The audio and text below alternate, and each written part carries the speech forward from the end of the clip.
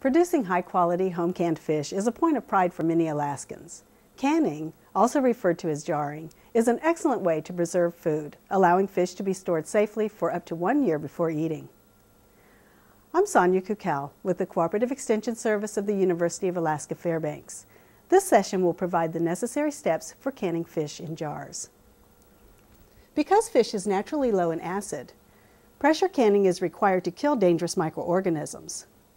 For more information on pressure canning, you may view our complete learning module. Research on food preservation is an ongoing process.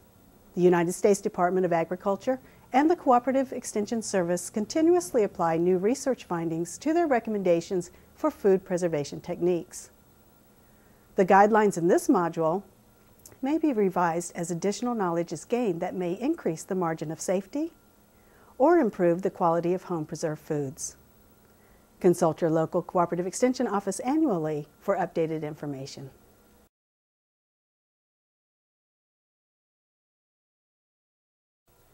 The equipment necessary for canning fish includes a pressure canner with a dial gauge or a weighted gauge, wide mouth, straight-sided jars, two-piece self-sealing lids, jar lifter, and a sharp knife.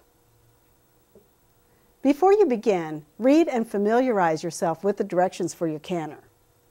If you don't have an instruction manual, contact the manufacturer for a new copy. Make certain that your pressure canner is in good working condition. Inspect the gasket. It should be soft, pliable, and free from defects such as rips or tears that might allow air to escape. The canner must be airtight when it's sealed. Check the safety plug to ensure that it is correctly seated.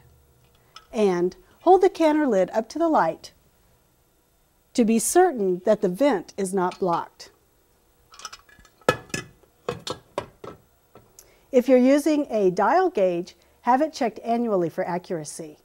Dial pressure gauges may be checked by your local extension agent. Half pint, pint jars, or quart jars may be used for canning fish.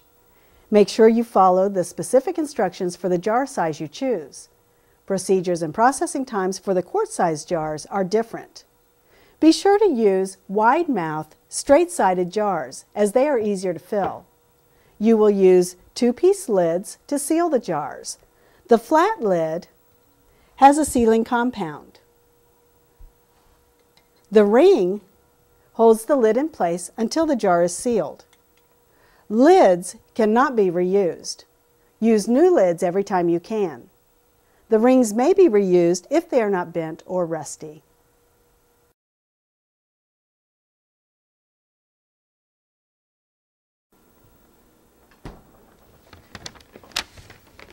When you catch fish, handle them with care to avoid bruising. Be aware that exposure to the sun or heat may cause the quality of the meat to deteriorate. Bleed fish immediately after catching to increase its storage life. And remove the internal organs. And rinse the fish inside and out. Keep your fish iced, refrigerated, or frozen until you're ready to can. The fish should be stored at temperatures colder than 40 degrees Fahrenheit. You can use either fresh or frozen fish for pressure canning. Many Alaskans choose to, fr to freeze their catch for one year. When fishing season arrives again, they take unused fish out of the freezer and can it. This gives fish an effective shelf life of two years. Now, when using frozen fish, it may be thawed in the refrigerator or by placing the wrapped fish under cold running water. To prepare the fish, rinse it in cold water. You can add vinegar to the water, up to two tablespoons per quart, to help remove slime from the fish.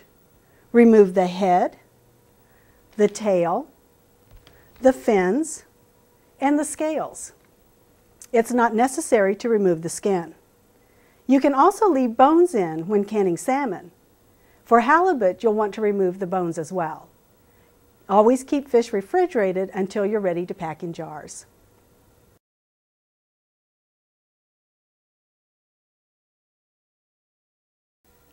In preparation for canning, wash your jars in hot soapy water. Run your finger around the rim of the jar to check for scars or nicks that might prevent sealing. Prepare the jar lids and the rings according to manufacturer's directions. Often, you'll be instructed to heat the jar lids to soften the sealing compound. Cut the fish into jar-length fillets or chunks. Keep it simple, using the fewest cuts possible. You can leave the skin on or take it off. There is some controversy as to whether the fish should be packed with the skin side out or in. You choose, either works. Pack the fish solidly into the jars. Press the fish to fill up as much air space as possible. Fillets can be rolled before packing. Leave one inch of headspace between the fish and the top of the jar. Because salmon has a significant fat content, no additional liquid is required. When canning halibut or lean fish, up to 4 tablespoons of olive oil or vegetable oil may be added to each jar. The oil will add moisture to the product, but will also increase the calories. Salt, seasoning salt, or other spices may be added on top of the packed fish. Check the Cooperative Extension Service publication titled Add Variety to Home Canned Fish for more suggestions.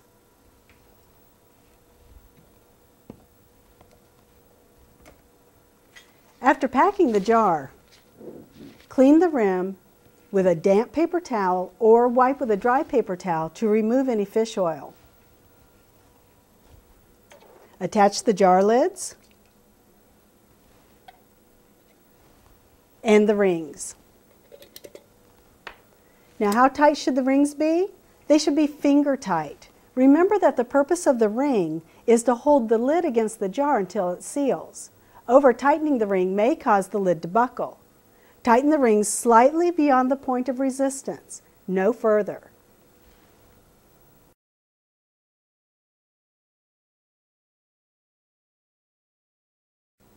To begin the canning process, center the empty canner on the heat source and add 2 to 3 inches of water.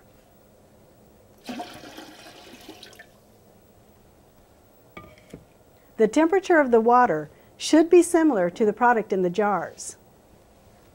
Put a rack in the bottom of the canner. The rack helps to prevent direct contact between the jars and the heat source, causing the jars to break or crack.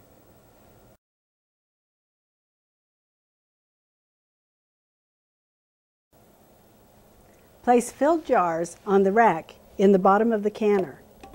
If your canner is deep enough, jars may be stacked. After the first row is in, put another rack in, or offset the jars by placing one in between two others. When your canner is filled, fasten the lid securely. Lids only fit on one way. Most have an arrow showing where to match the lid to the handle. Be sure the lid locks completely.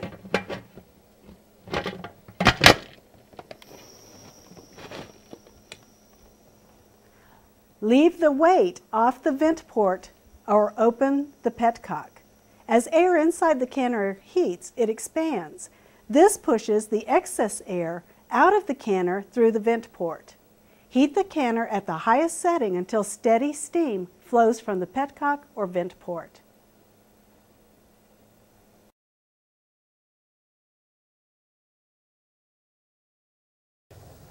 Once there is a steady stream, Allow the steam to escape for 10 minutes.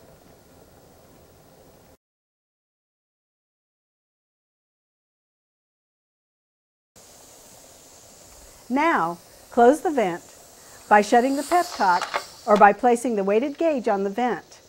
The canner will pressurize during the next three to five minutes.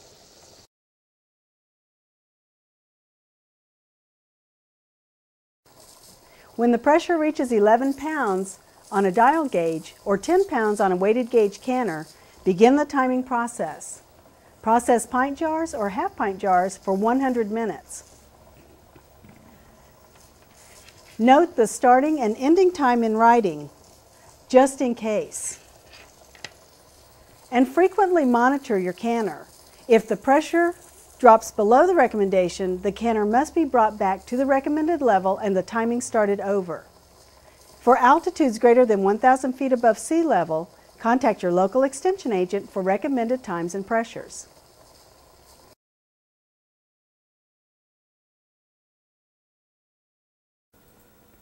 Now, if you decide to use quart jars, there are specific procedures to be followed.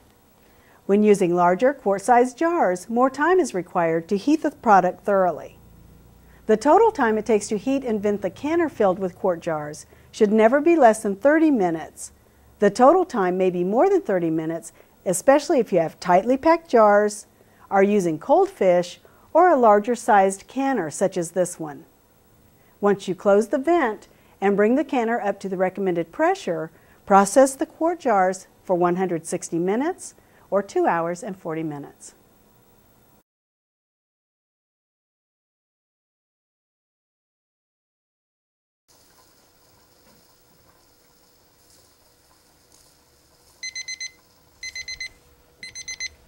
When the timed process is completed, turn off the heat and remove the canner from the heat if possible. Let the canner depressurize. Allow the pressure to drop naturally. Don't apply cold water or a cold cloth to your pressure canner.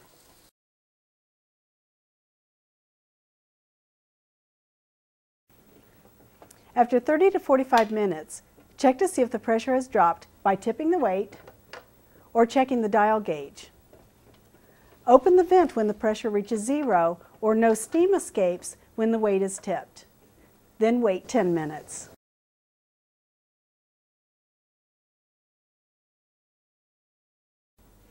Unfasten the lid and remove it carefully.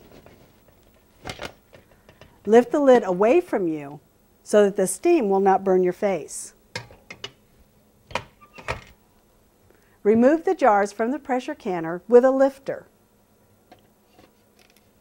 and place them on a towel or cooling rack. Allow the jars to cool for 12 hours before moving them again. Never rush the cooling process or your jars may break. Jars should be cooled in an area away from drafts because air blowing on hot jars may also cause breakage. Jars will seal as they cool.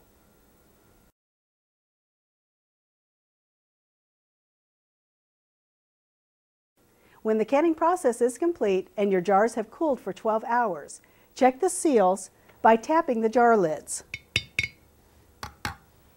If some jars did not seal, such as this one, you have three options. You can reprocess the unsealed jars within 24 hours using a fresh jar lid. Now, reprocessing does not affect the quality of the fish. You may also freeze the contents of the unsealed jars, or refrigerate the jars and use the product within three to four days. The rings may be removed from the jars when the cooling process is complete and you've checked the seal. Label your jars with the date, processing method, and processing time. Store your canned goods in a cool, dark place, and for best quality, use canned fish within one year.